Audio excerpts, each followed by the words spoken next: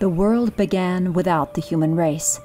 Now, after a mysterious pandemic decimates the entire adult population, it looks as if it will end exactly the same way. Unless the young survivors, who band together in warring tribes, overcome the power struggles, dangers, and unexpected challenges to unite and build a better world from the ashes of the old. But they are running out of time. Code 1. Civil priority. Isolation now in effect. To avoid the risk of contamination, please stay indoors and await further instructions. Medical advice will be given. For a while, we all thought it was just a virus which mutated, but some thought that was just lies, a cover up by the governments of the world. Or was it? Authorities are appealing for calm throughout the evacuation process. Whatever it was, one thing for sure there really was no cure or hope, for all the adults especially. Maybe it was a scientific experiment gone disastrously wrong. Some people even thought it was down to genetic engineering or bacterial warfare.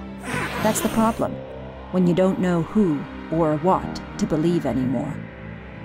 There is so much rumor these days speculation, conspiracy theories, even talk that beyond the Forbidden Zone, there is a world unlike our current world where medicine women and magical men will live to be thousands of years old, having almost become immortal with the antibodies, having been initially evacuated to escape the plague.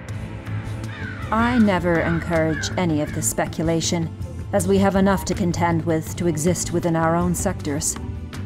Rise up! Take control! No one knows for sure what pushed us all over the edge into this dangerous world of madness this hellish existence in which we all struggle to survive during these uncertain times. Power and chaos! Is it really the end? Or is it just the beginning? The only question is the beginning of what? The end?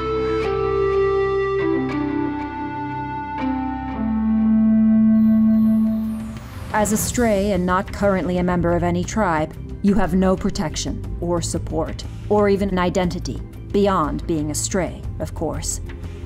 The only chance of building a better world is to try and live together in harmony with no warring tribes.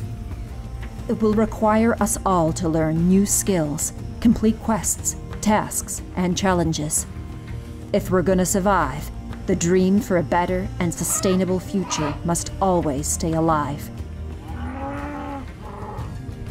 If you believe that triumph can overcome adversity and hope can overcome despair, you can be instrumental in shaping the destiny of future civilization. You just have to decide whether or not you want to continue on your journey as a stray, or whether or not you'd like to join a tribe and embark on a journey of self discovery as well as collective survival. First of all, you'd better customize your look and give yourself some markings to try and disguise yourself as a stray. Otherwise, you might have no hope of surviving.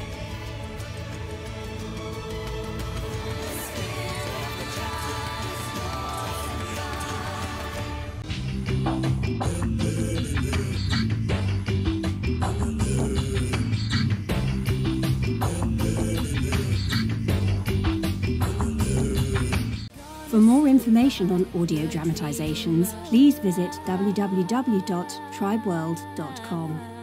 Keep the dream alive.